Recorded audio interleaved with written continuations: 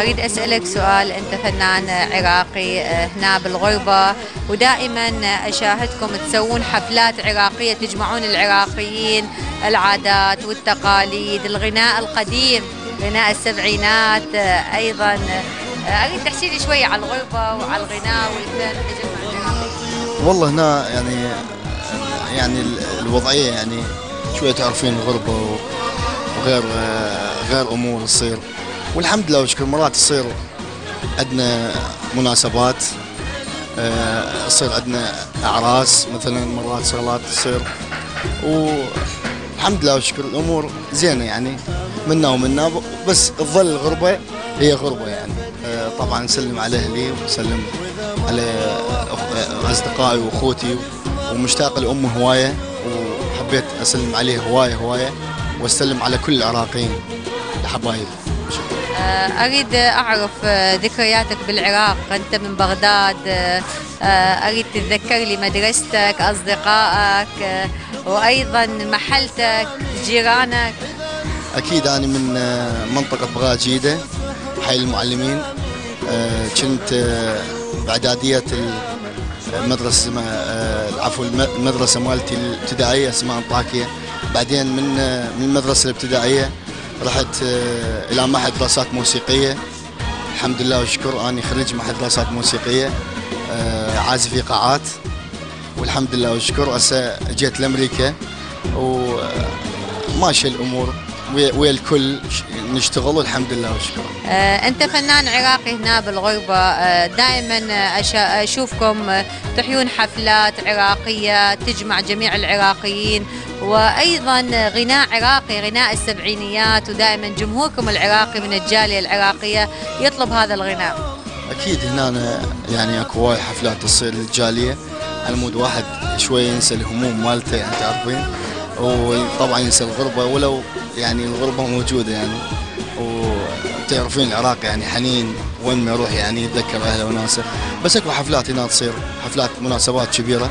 تصير تجمع بها الجالية العراقية واكو اكو أكو مطربين هنا أغاني قديمة ويرجعون للسبعينيات الثمانينات يعني آه، مطربين أكو مثل يعني مطربين هواية هنا.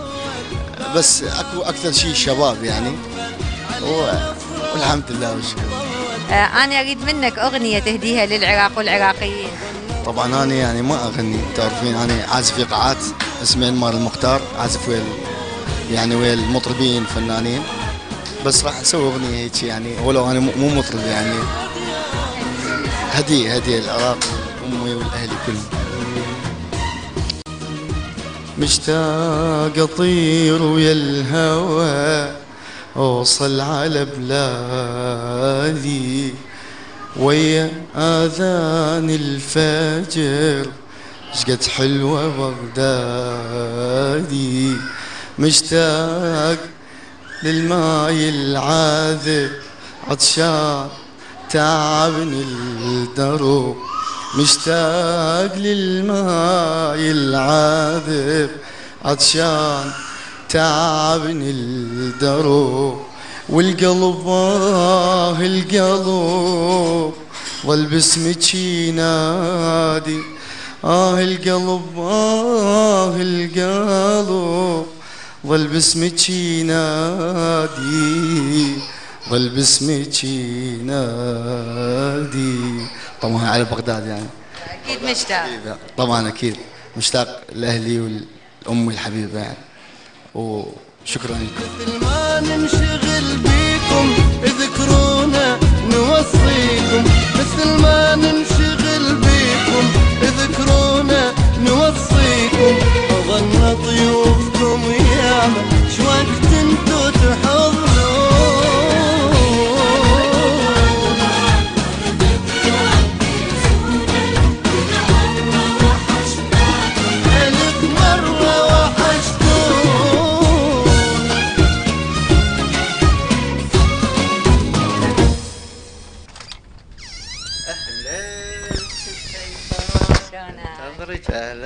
وقناه الفيحاء بيت العراقيين. تفضلي ظل عالبال ولا فد يوم تنسونا وإذا مرة وحشناكم ألف مرة وحشتونا.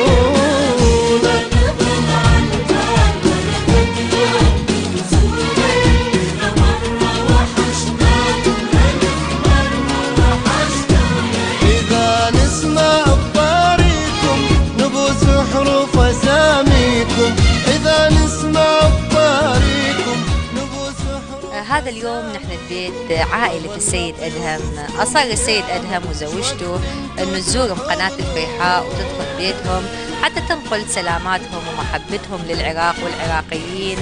شكرا جزيلا سيد أدهم على هذه الاستضافة لقناة الفيحاء ببيتكم شرفتونا وإحنا نرحب بكم وقناة الفيحاء من القنوات اللي أنا خصوصا أتابعها وكلش معجب ببرامجها ويشكر القائم يعني. آه، أبو مهند اليوم أصريت آه، أنت ومهند إنه الفيحاء آه، تكون ضيفة عليكم. ونحن لبينا هذه الدعوة لأن كل العوائل العراقية أكيد عزيزة علينا. وإن شاء الله نلبي دعوة الجالية العراقية في أي مكان كانوا هنا في الولايات المتحدة الأمريكية. شنو اللي ردت توصلوا من رسالة محبة واشتياق وحنين إلى العراق الحقيقة أنا من أحب قناة الفيحاء متابعها. وسمعت بكم هنا بديترويت وحبيت أنه أضيفكم ببيتنا تشوفون بيتنا وعائلتي. وحتى أسلم على العراقيين. وأنقل تحياتي وشوقي إلى حنين بغداد والبصرة وكل المحافظات العراقية وكل الناس الطيبين أبو مهند إذا نحكي شوية عن الغربة الغربة أكيد صعبة هنا. وأنت اشتياقك كبير للوطن والأهل والأحبة هناك. آه، خلينا قبل ما نحكي عن الغربة نتذكر أيامك ببغداد أيام الدراسة أيام ال- الأصدقاء المحلة. ذكريات أكيد كانت جميلة جدا؟ حقيقة ال- أني آه، طلعت قبل عشرين سنة. آه، فترة ال- بغداد والجامعة مالت البصرة كانت أيام حلوة. يعني أفتقدها هسه حاليا. ومو سهلة واحد يترك وطنه. بس انجبرنا على التركة لأسباب معروفة. ال- الغربة صعبة. أني من س- سكنة الصالحية مواليد البصرة أولا سنة 55 عمري سنة أهلي انتقلوا لبغداد فنشأتي ببغداد. بغداد كنا بالصالحية الصالحية منطقة شعبية. وكل الطوائف والأديان بيها فما كانت بيها تفرقة.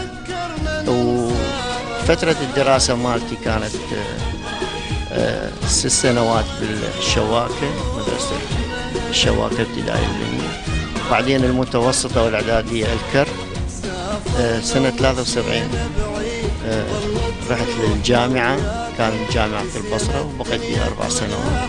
درست هندسة مدنية وتخرجت سنة 77 وبعدين التحقت بالجيش فترة طويلة تقريبا خمس سنوات بسبب الحرب استمرار الحرب العراقية الإيرانية.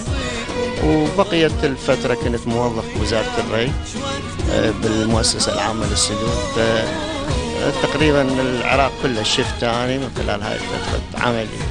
فترة ال- بغداد بالتأكيد. آه، يعني فترة الشباب كانت آه، فترة مميزة بالنسبة لنا فترة النضوج. كان الوضع آه، جيد ذيك الفترة فترة نهاية الستينات وبداية السبعينات. كانت الظروف ملائمة الأصدقاء يعني عندهم آه، حرية بالنقاش بالحوار العلاقات كانت جيدة ما كان أكو تشدد ما أكو تعصب. فهاي الفترة فترة كانت جيدة بالنسبة لنا بعدين انجبرنا بعد الزواج على ترك العراق للأسباب المعروفة. أبو مهند تتذكر لي أيامك بالعراق آه، بالذات أيام عرسك أيام التخرج مالك آه، آه، أيام أكيد كانت جميلة جدا بالعراق. تذكر لي هي شوية ورجعنا لأيامنا بالعراق. والله يعني س- س- سؤال بالضبط عن فترة الزواج تزوجنا عن الجناعي سبعة وثمانين. والله رزقنا بولد اسمه مهند بن كبير